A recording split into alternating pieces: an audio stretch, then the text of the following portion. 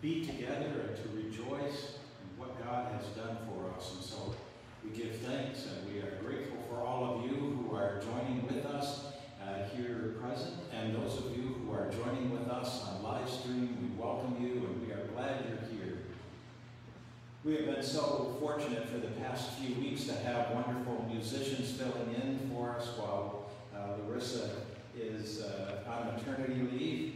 And uh, last week, we uh, last two weeks, we had uh, uh, we were treated to one of the top organists probably in, in the area, Gail, Dr. Gail Kramer, who played for us, and so we are so grateful for his ministry and him being with us today. We are so grateful to have Joy Wan, who is Reverend Joy Wan, who is playing for us.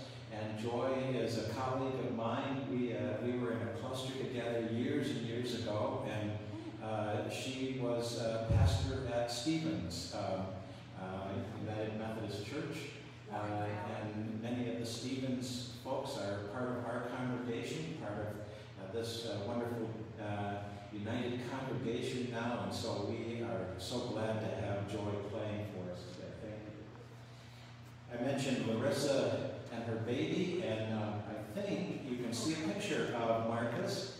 Uh, we have uh, uh, Marcus, who was born, help me out here. Oh, it's on the back. I'm sorry. on the back of your bulletin, if I read it. It's right there.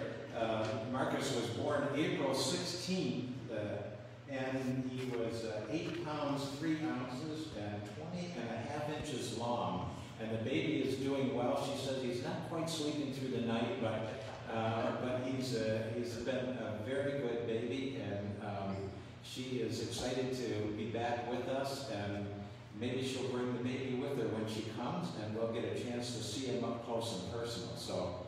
Um, uh, in the meantime, you've got a couple of nice pictures of this wonderful addition so again, we are grateful for your presence. We thank God, most of all, for his presence with us, for the presence of the Holy Spirit. We are reminded that where even two or three are gathered together, there the Holy Spirit, there the risen Christ is with us.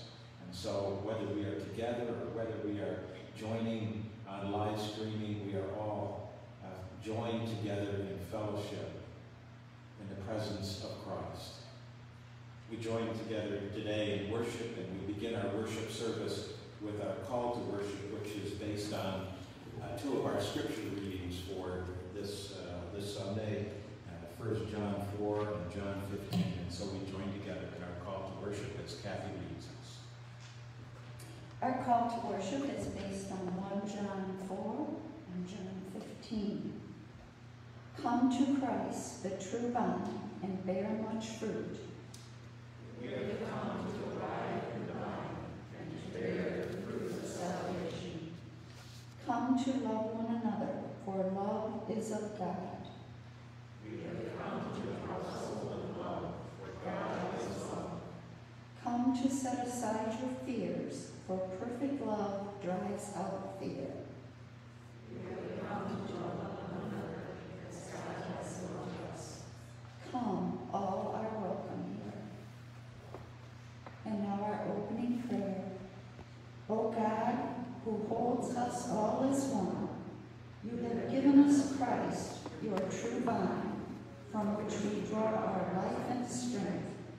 Send to us a new assurance of your ongoing love and care for us as we gather to praise your name and open our hearts to receive a fresh surge of your life-giving spirit that we may be fruitful branches of him who gives himself to us always. Amen. And our first hymn is To God Be the Glory, sung by Carol and Linda. Thank you.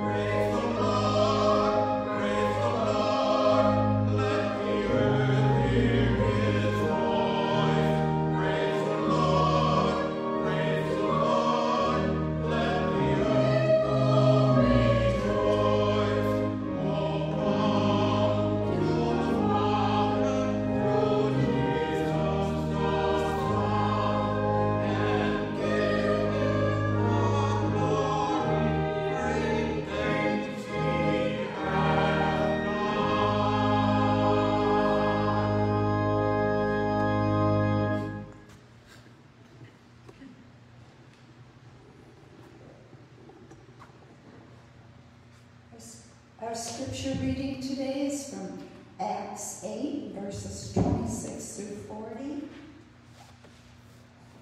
and from John 15, verses 1 through 8. Then an angel of the Lord said to Philip, Get up and go toward the south to the road that goes down from Jerusalem to Gaza. This is a wilderness road. So he got up and went. Now there was an Ethiopian eunuch, a court official of the Candace, queen of the Ethiopians, in charge of her entire treasury. He had come to Jerusalem to worship and was returning home. Seated in his chariot, he was reading the prophet Isaiah. Then the Spirit said to Philip, Go over to this chariot and join it. So Philip ran up to it and heard him reading the prophet Isaiah. He asked, Do you understand what you are reading? He replied, How can I unless someone guides me? And he invited Philip to get in and sit beside him. Now, the passage of the scripture that he was reading was this Like a sheep, he was led to the slaughter, and like a lamb silent before its shearer. So he does not open his mouth. In his humiliation, justice was denied him. Who can describe his generation? For his life is taken away from the earth. The eunuch asked Philip, About whom, may I ask you, does a prophet say this, about himself or about someone else? Then Philip began to speak, and starting with this scripture, he proclaimed to him the good news about Jesus. As they were going along the road, they came to some water, and the eunuch said, Look, here is water. What is to prevent me from being baptized? He commanded the chariot to stop, and both of them, Philip and the eunuch, went down into the water, and Philip baptized him.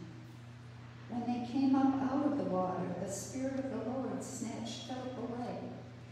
The eunuch saw him no more and went on his way rejoicing. But Philip found himself at Azotus, and as he was passing through the region, he proclaimed the good news to all the towns until he came to Caesarea. Now, John 15, verse 1 through 8. I am the true vine, and my Father is the vine grower. He removes every branch in me that bears no fruit. Every branch that bears fruit, he prunes to make it bear more fruit. You have already been cleansed by the word that I have spoken to you. Abide in me as I abide in you. Just as a branch cannot bear fruit by itself unless it abides in the vine, neither can you unless you abide in me. I am the vine, you are the branches. Those who abide in me and I in them bear much fruit, because apart from me you can do nothing. Whoever does not abide in me is thrown away like a branch and withers. Such branches are gathered, thrown into the fire, and burned. If you abide in me and my words abide in you, ask for whatever you wish, and it will be done for you. My Father is glorified by this, that you bear much fruit and become my disciples. This is the word of God for the people of God. Thanks be to God.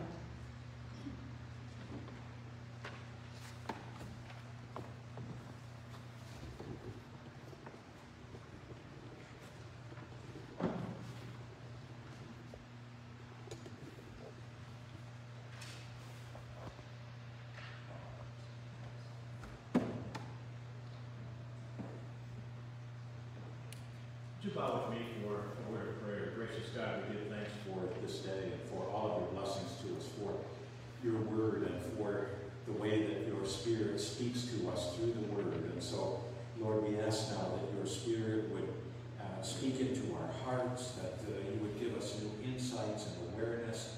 Uh, we are very much, in many ways, like the Ethiopian who was asked if he understood he said, How can we without, how can I without someone to help me? And so we pray that you would send your spirit to help us understand, and to guide and direct us. And we would give you all the praise. Let the words of our mouth and the meditations of our hearts be acceptable in your sight, O Lord, our strength and our Redeemer. Amen. Well, I, I love this story. Um, I, I've come to really appreciate it. I've read this story many times, but it, it just seems like uh, I, I gained such new insights into the story uh, in, in the past few weeks, uh, thinking about this sermon about this passage. And, well, uh, it's tempting, it was very tempting to preach on the vine passage, the passage about the, the abiding and, and things that's, uh, I just felt led to this passage. And so I hope uh, this speaks into our hearts today. I, I love the way this story gives us a glimpse of the way God works, the, the way God's grace works. It, it, it's a glimpse not only into the way God's grace works and the way God works, but the way that the church ought to work. It, it's, it's, uh, it gives us such a glimpse into what the church really should be in the world. This post-resurrection, these Easter people, you and I. It, it starts out with an angel of the Lord. Some translations say that the Holy Spirit, or that this is the Holy Spirit speaking to, uh, to Philip. And it says, an angel of the Lord, or the Holy Spirit said to Philip, get up and go to the road that goes down from Jer Jerusalem to Gaza. I, I love the way that the Holy Spirit leads Philip. Leonard Sweet makes this note that, that Philip is practicing the Holy Spirit. The early Christians would have called practicing the presence of the Holy Spirit, of God's with us. Uh, it, it, meant for him that uh, under the power of the Holy Spirit, he would leave a, a, successful mission area in Samaria where he was preaching and having great success and, and go down to a, a desert road, a, a, road that led into the wilderness. Uh, that, was the road that went from Gaza to, uh, to Jerusalem, or Jerusalem to Gaza, really, because it's going down. You're, you're at about five, uh, about the, what is it, about maybe three, 4,000 feet elevation, and you're going down to sea level. So you're, you're going down to, to Gaza. Uh, and it, it, Leonard Sweet says that the Holy Spirit led Philip, guided his feet and guarded his focus that he finds himself just at the right place at the right time. I mean, who would, who would ever expect that you're going to a desert road, a, road that's hot, it's in the middle of the day. Uh, Luke is so good at giving us details, and he says that it, it was in the heat of the day, it was in the, the hot part of uh, the day, he's in a desert. Who would expect to find anyone there? Philip is probably wondering, why in the world did you leave me here? Uh, he's asking the Holy Spirit that way, but here he finds someone. He finds an Ethiopian, a, a, a God-fearer, probably a Gentile who is a God-fearer that is attracted to the Jewish faith and the, the, the Jewish God. And, and he's come uh, there. And so Philip is uh, finding him. He's led by the inspiration of the Holy Spirit. And, and the Spirit brings together a one-on-one -on -one encounter with Christ's disciple and Christ's next disciple. The first century church did not expand geographically and embrace wholeheartedly the diversity of people who came to call Jesus the Christ by programming and planning. Instead, the first century church, the first century Christians practiced the presence of the Holy Spirit. That they practiced the presence of God in their midst, in their lives, directing them every, every step of the way. The first century church prayed and prophesied their way forward. They preached the good news, and that is the living presence of Jesus Christ in the lives of disciples. That, that they were filled with the Holy Spirit and empowered by the Holy Spirit directed by the Holy Spirit. Every person who confesses Christ and is baptized receives the Holy Spirit.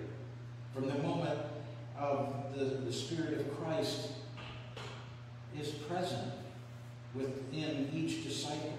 But too often, that presence is put on a shelf somewhere, and we go on about our, our business, and other things take center stage. But the early Christians, like Philip, For them, the practice of the presence of the Holy Spirit was an everyday part. It was just part of getting up. It was part of living. It was part of what they did. They were led by the Holy Spirit. So the Holy Spirit directs and leads Philip to this out of the way place, a wilderness road.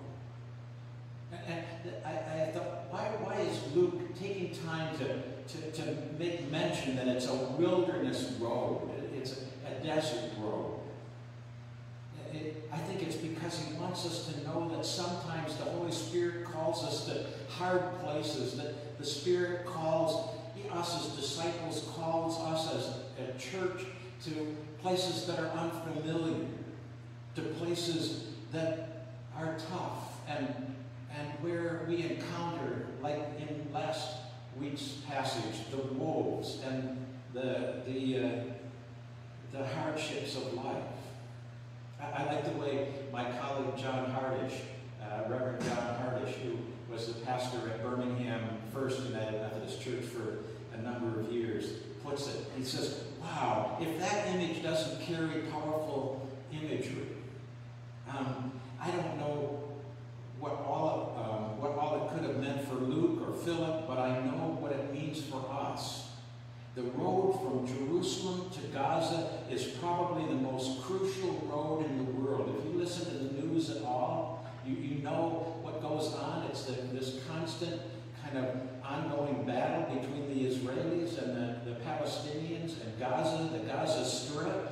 And, and so he, he goes on to say the road which symbolizes all the tensions and conflict of our world, the road most needed and hardest to travel, the road on which the future of the world seems to hang, the road which symbolizes the difficult path to peace in our world today.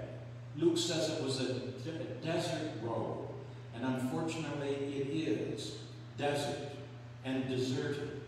It is a hard road to travel, but it is the path to reconciliation, to justice, to peace. It is the pathway through which people find life. And it says that, that our text goes on to say that as Philip was uh, led by the Holy Spirit out to this desert road, he encounters a man from Ethiopia. He, he met a man there who was a high official. This, this Ethiopian is so interesting. Think about it, this is the first missionary of the church, the first missionary outside of the inner circle of believers. This is the first uh, Gentile missionary to the world. And, and who does God pick? I mean, isn't it wonderful? Isn't it so cool to see who God picks to be the first missionary, the first disciple out into the world to the Gentiles. Look at this man. First of all, he's black. He, he he's from Africa. He, he, he is a eunuch, which means that he is of a different sexual orientation. He's, he's a, a high, of high social standing. He, he's politically powerful. He's a God-fearer which simply means that he's a, he, he's like so many in our world, I'm spiritual, but I'm not religious. Or maybe he's religious, but he, he doesn't know much about spirituality. One or the other, but he, he's a seeker. He's trying to find something to, to, to uh, fill his life. He, he had come to Jerusalem, it says, to worship. And that in itself is really interesting. We'll get to that in a minute. When you think about that, he's come all the way from Africa, all the way from Ethiopia, which uh, is sometimes in the scriptures called Cush. It, it, it's south of Egypt.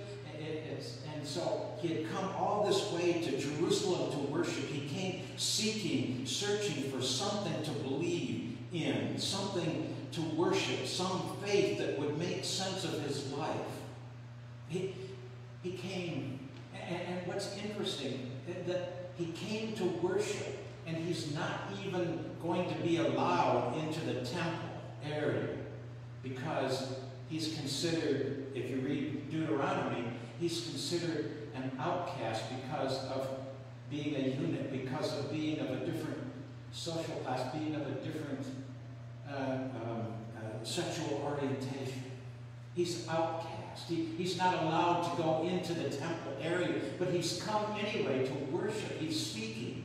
And do you see how God has such a sense of uh, humor, I think? And, and God is so, His grace is so amazing that, that God picks the most uh, unlikely people, the people that we wouldn't think of, that, that maybe don't fit in, that, that don't fit the mold. That, do you understand, Philip? Uh, so, so what's happening? So, just a little bit of this story is that is that the uh, the man is riding in his chariot. He's actually sitting in his chariot, which means he, he, he was a powerful figure. He has a he has a limousine chariot so that he can sit down, he can recline in his chariot while the driver, his driver is driving and he's reading. And the, the typical way that you read, even, even in, in church, uh, even today, is that you read the scripture out loud.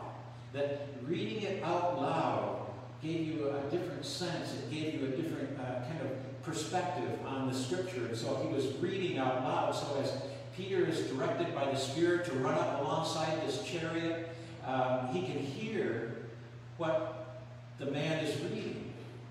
And he's reading this wonderful passage, this passage that's familiar to us, even at um, during uh, Advent and Christmas, this passage that speaks about the suffering servant, this passage that, that we uh, refer to uh, during Easter also, that, that we uh, come to at Easter like a lamb, he was led to the slaughter, and like uh, a sheep, he silent before his shearers.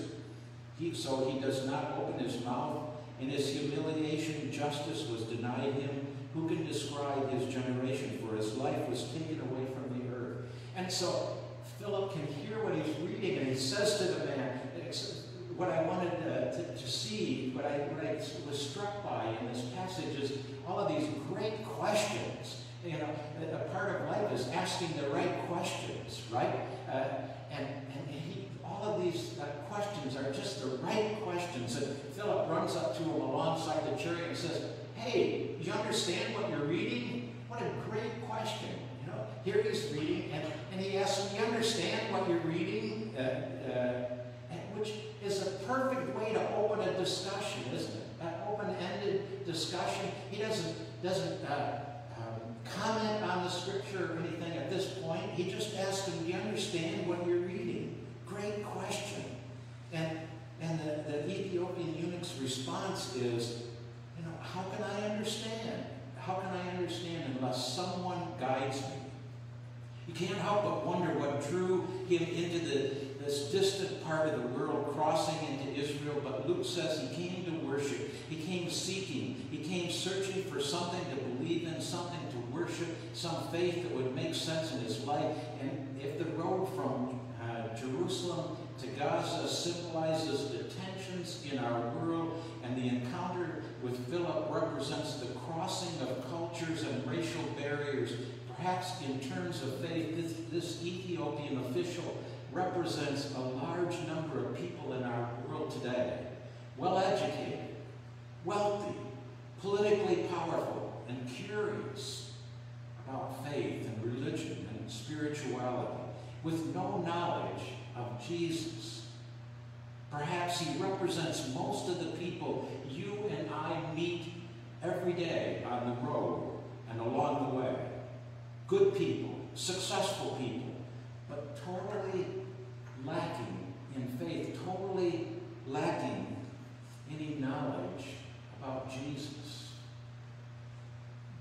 even in church, one of the biggest problems now, they say, is biblical illiteracy. That even we as practicing Christians don't often understand what we're reading. We need the guidance of the Holy Spirit. And so, do you notice what happened?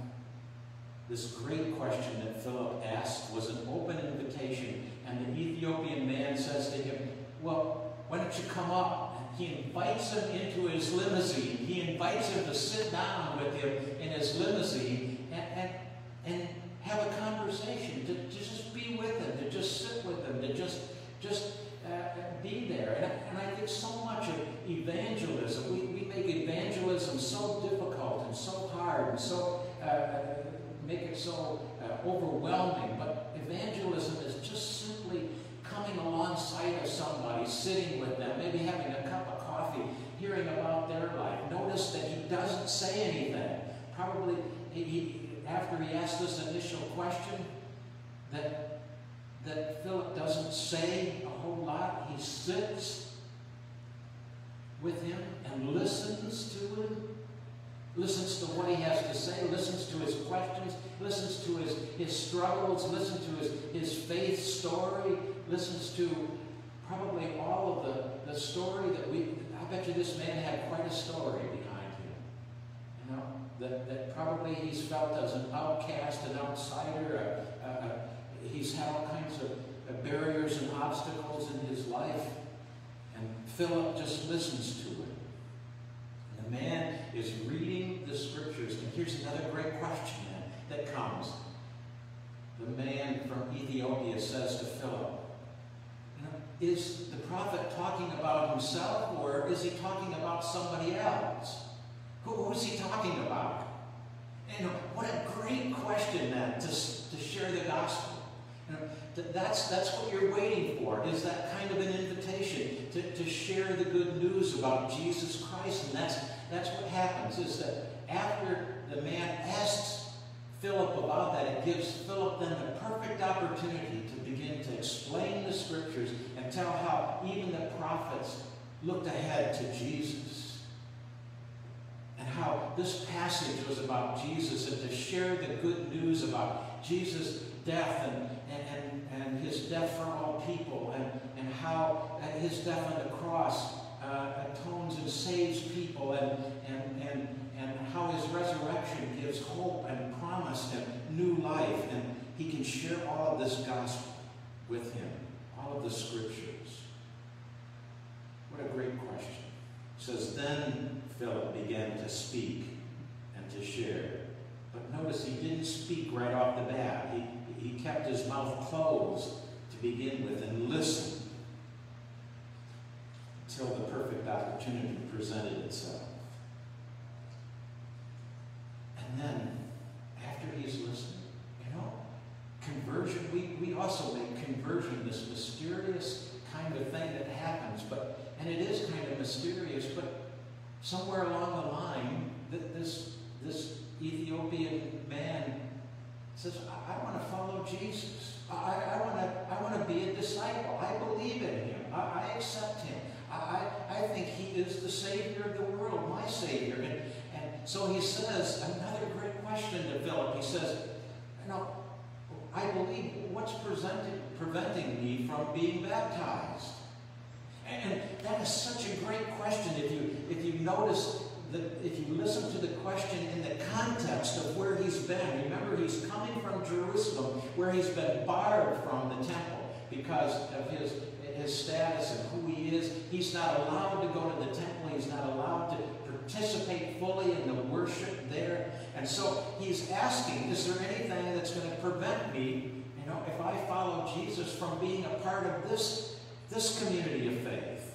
What's going to prevent me from being, is there, is there something that will prevent me from being part of this community of faith, being a follower of Jesus? What a, what a great question. I think it's a question that a lot of people, a lot of people who are new to Christ, who may be thinking about Christ, who, who maybe have very little knowledge about church and about God and about, about Jesus and about the gospel, but who are attracted to Jesus and they're asking, the church, what's going to keep me outside? What's going to prevent me from being part of? Is there anything that's going to keep me apart? You know, our church right now, sadly, is in the middle of a big argument and a big fight that's probably going to lead to a, a, a schism about who's an insider and who's an outsider and who can come and who can't be a common. And, you know, to me, it, it's, it's sad in some ways because it's not, if you read the scripture, it's, it, it's God says everybody's accepted. You're, you're part of the kingdom. You're part of, you know, you are, you are loved. You are accepted. Uh, you see, I think this is not just a conversion story, a one-way conversion story. It's a two-way conversion story. Because I think Philip gets converted too. He, he gets a deep, deeper understanding of who Jesus is and what it means to follow this resurrected Jesus, what it means to be a part of this new thing that's the church. Eh, Philip is also a student, and what he learns from the eunuch has a great deal to teach us about the life of faith, about post-Easter. In his spirit-led encounter with the Ethiopian official, Philip learns that the resurrection of Jesus changes everything. Everything he knows about insiders and outsiders, piety and depravity, identity and belonging. The eunuch isn't the only person in the story who undergoes a conversion. The Spirit leads Philip to experience a conversion, a change of mind, an opening of his mind as well. So the question then that the Ethiopian asks is just a perfect question. What's going to prevent me? Why not now? Why? It, it, right now seems like a great time. It seems like the perfect time. It seems like there's water right here. And why can't we do it now? And, and I, again, like the, the, the way that, uh, that my colleague John Harnish says when he's talking about the church. He says, in a world which is focused on the path from Jerusalem to Gaza, a world desperately in need of the word and work of the Prince of Peace, why not now? In a multicultural, multi-ethnic, multiracial world which desperately needs to see an inclusive community of faith where old barriers are broken down and diverse people can journey together And in a day when men and women are biblically illiterate, desperately in need of a church which will listen to their questions and join them in their quest until they find their way to Jesus Christ, why not now? The word for the day, the, the words for the day are the words of urgency. Why not now?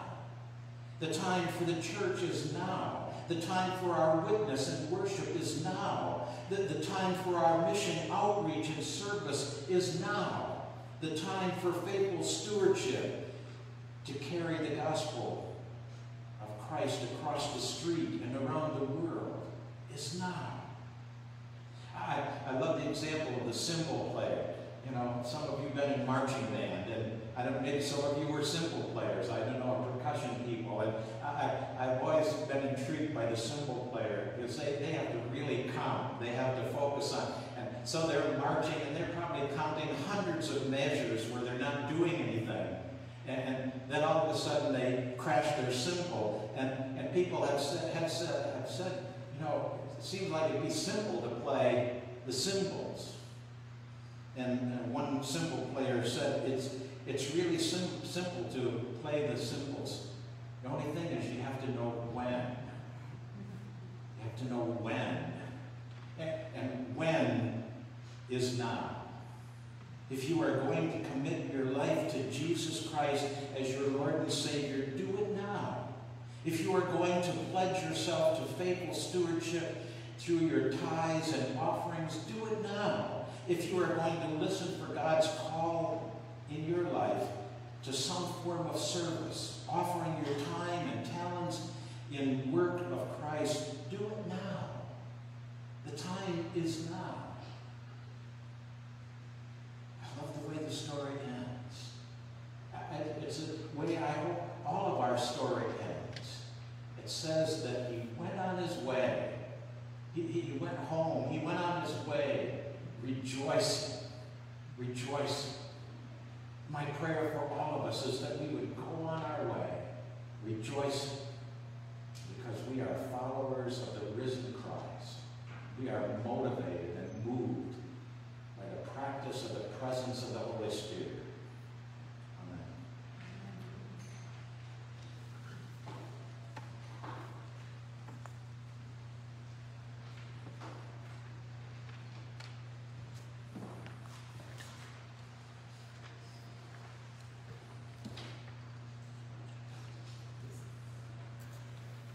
out before just a word of prayer. Before we do, uh, I want to lift up a few um, prayer requests.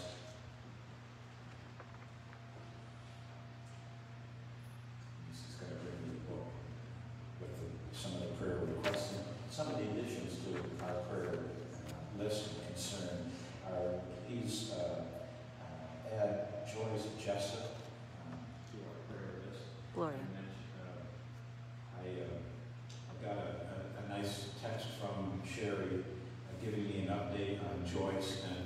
Gloria.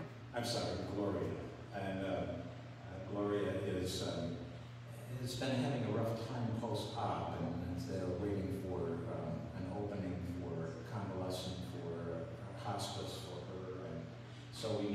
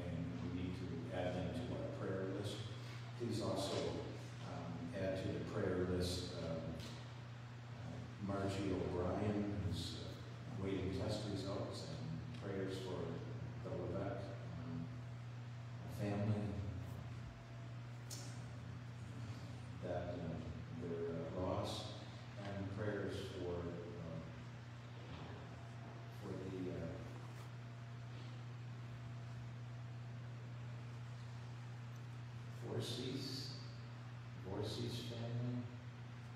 Anybody know? Um, is that correct?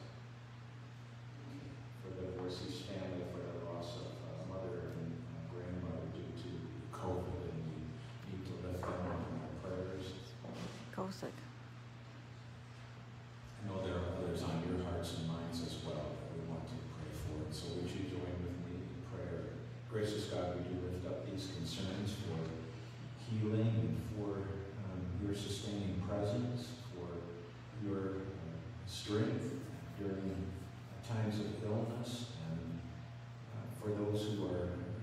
caregiver,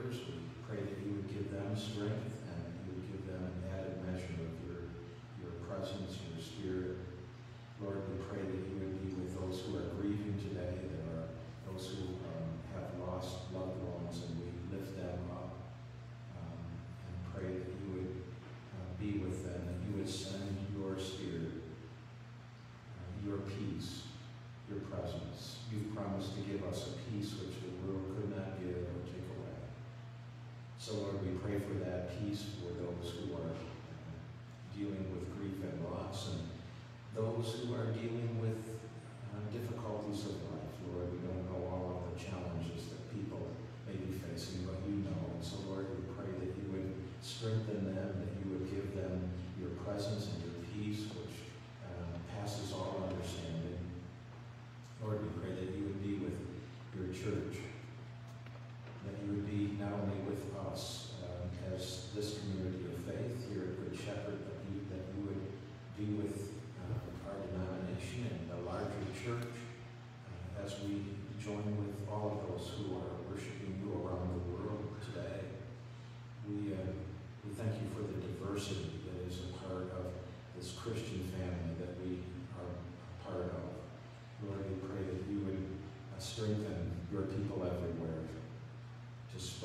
good news and to share your love in this world.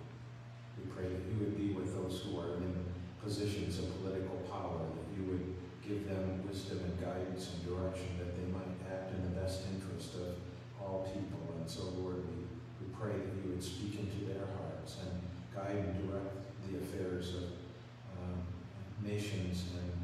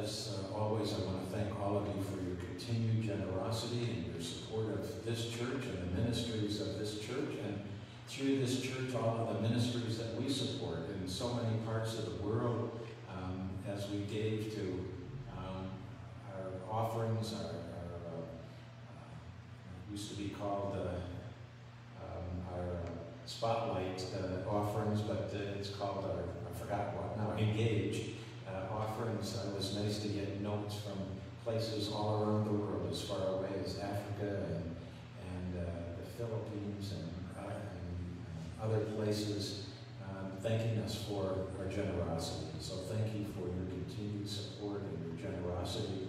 Those of you who are listening online, thank you for your faithfulness. And if uh, if you don't have a church home, consider this your church home. If you do have a church uh, home, please continue to support your faith community those uh, uh, nonprofit organizations that desperately need um, support. Think about ways that you can be generous and the ways that your uh, generosity blesses others as we listen to the offertory.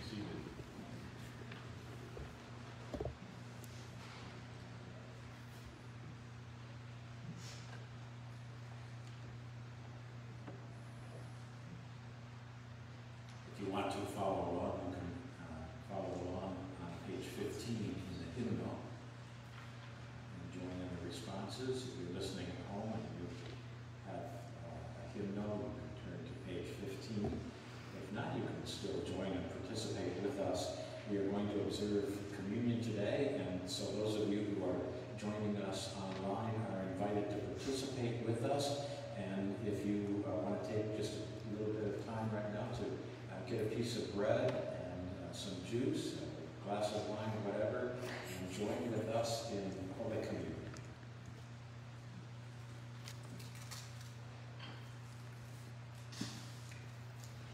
The Lord be with you. and also with you. Lift up your hearts. We lift them up to the Lord. Let us give thanks to the Lord our God. It is right to give our thanks and praise. It is right and a good and joyful thing always and everywhere to give thanks to you, Almighty God, creator of heaven and earth. You formed us in your image and breathed into us the breath of life. When we turned away and our love failed, your love remained steadfast. You delivered us from captivity, made covenant to be our sovereign God, and brought us to a land flowing with milk and honey, and set, set before us the way of life. And so with your people on earth and all the company of heaven, we join their unending hymn. Holy, holy, holy Lord, God of power and might, heaven and earth are full of your glory. Hosanna in the highest. Blessed is he who comes in the name of the Lord. Hosanna in the highest. Holy are you, and blessed is your Son, Jesus Christ. By the baptism of his suffering, death, and resurrection, you gave birth to your church, delivered us from slavery to sin and death, and made with us a new covenant by water and the Spirit. By your great mercy, we have been born anew to a living hope through the resurrection of your Son from the dead, and to an inheritance that is imperishable, undefiled, and unfading. Once we were no people, but now we are your people, declaring your wonderful deeds in Christ, who called us out of darkness into his marvelous light. When the Lord ascended, he promised to be with us always in the power of your word and Holy Spirit. The night in which he gave himself up for us, he took bread, gave thanks to you, broke the bread, gave it to his disciples, saying, Take, eat, this is my body, which is broken for you. Do this in remembrance of me. When the supper was over, he took the cup, gave thanks to you, gave it to his disciples, saying, Drink from this, all of you. This is my blood of the new covenant, poured out for you and for many for of sins. Drink this as often as you drink it in remembrance of me.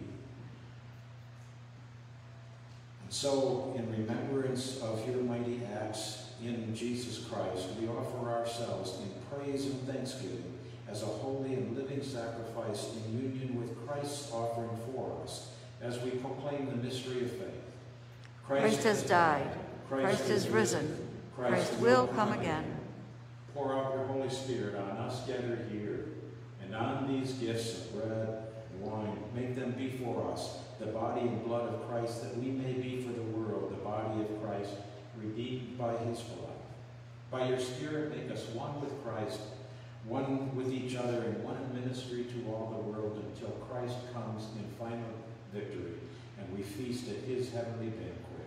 Through your Son, Jesus Christ, with the Holy Spirit, in your holy church, all honor and glory is yours, Almighty God, now and forever. Now, as children of God, we join together in the prayer that our Lord taught us to pray. Our Father, who art in heaven, hallowed be thy name. Thy Kingdom come, thy will be done, on earth as it is in heaven.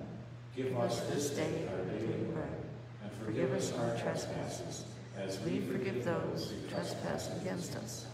And lead us not into temptation, but deliver us from evil. For thine is the kingdom, and the power, and the glory forever. Amen. Those of you who are joining online, if you take a piece of bread now, those here, if you take the cup and get to the bread.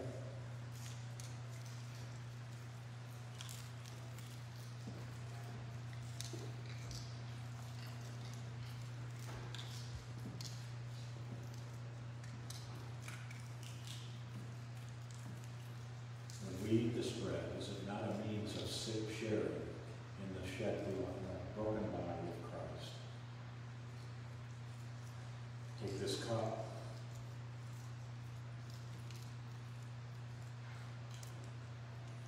When we drink this cup, is it not a means of sharing in the shed blood of Jesus Christ?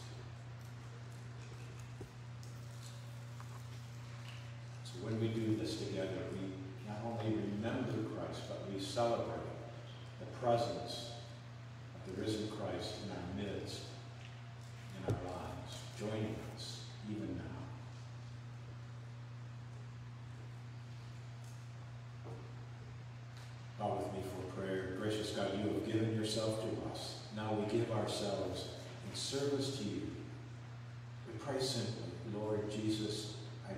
my life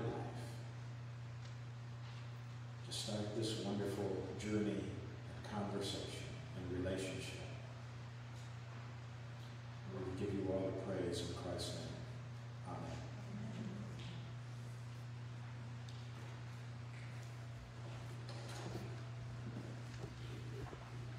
Our closing hymn is Of Love Divine.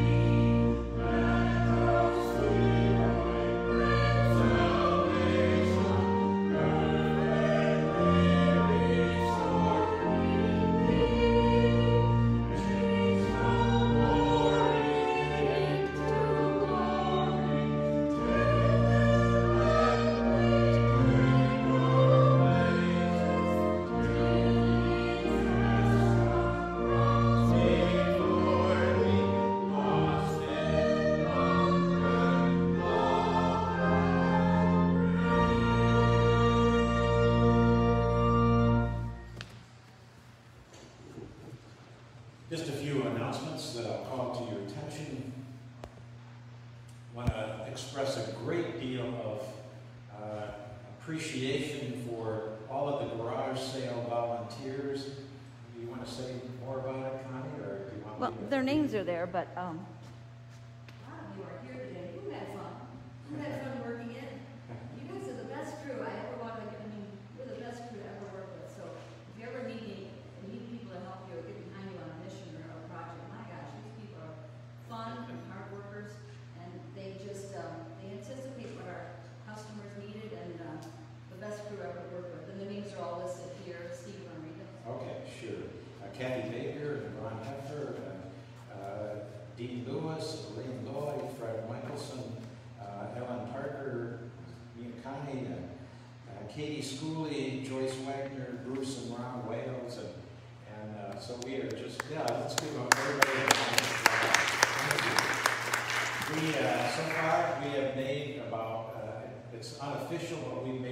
close to twenty-five hundred dollars, so, in the garage sale.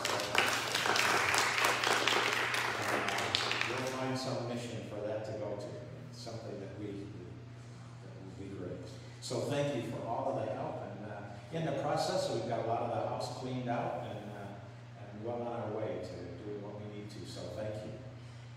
And just a reminder that the uh, adult Bible study will continue for another few weeks before we take a break for the summer.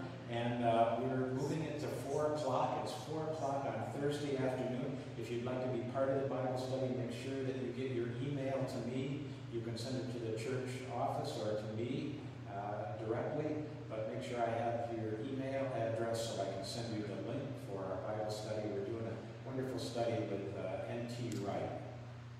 And then just an announcement too, um, if you can use a gallon of 2% milk, probably for most of the people gathered here, uh, rather than those of you who are online, but if you can uh, use a gallon of 2% milk, please see uh, Georgia after the service. We've, we got a wonderful contribution of milk, but it's very close to its expiration date, so we won't be able to carry over until we have our food pantry uh, next time. So if you can use that, please see uh, Georgia after the service. And uh, just a reminder that the food pantry can, can use donations of coffee, laundry detergent, and juice especially.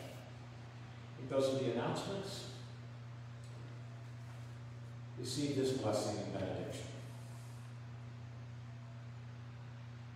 We look forward to that time that time when the fullness of the kingdom will come and we will be lost in glory and wonder, as John Wesley said so eloquently in this hymn. But until that time, may we be a part of what God is calling us to do, individually as his disciples and as a church, may we go out into the world asking the right questions, listening for the right questions, listening for those who are looking, searching for good news, so that we can share the good news of Jesus Christ with them. God, Father, Son, and Holy Spirit rest upon you and go with you. Amen.